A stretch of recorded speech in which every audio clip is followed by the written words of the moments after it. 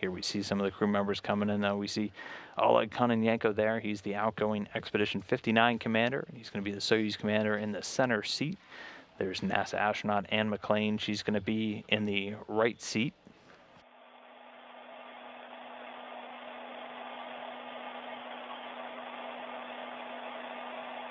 And then just now into view, that's David Saint-Jacques, outgoing Canadian astronaut wrapping up his first space flight.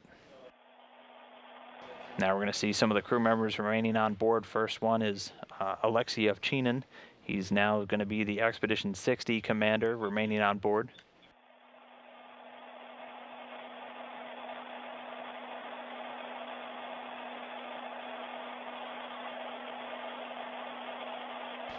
And there's Nick Hague and Christina Koch, who are also going to be remaining on board. Both NASA astronauts on their first flights. Uh, they're going to remain on board for Expedition 60, and uh, Christina Koch actually going to remain uh, for additional expeditions as her stay was uh, lengthened. She'll actually be staying on board until February 2020, coming home with a different crew.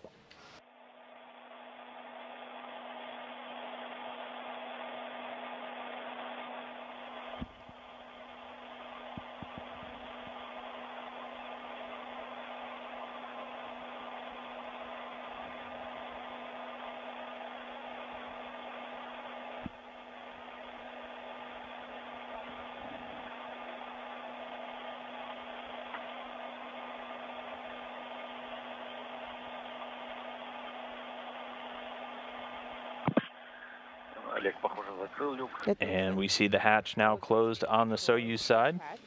And I will start closing my side. Okay, go ahead.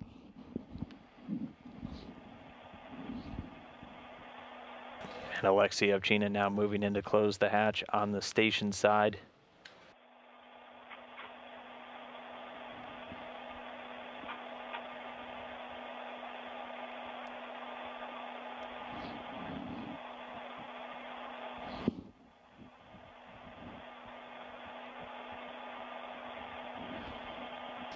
And we have confirmation that the hatch has been closed, and now the hatch on the station side closed as well.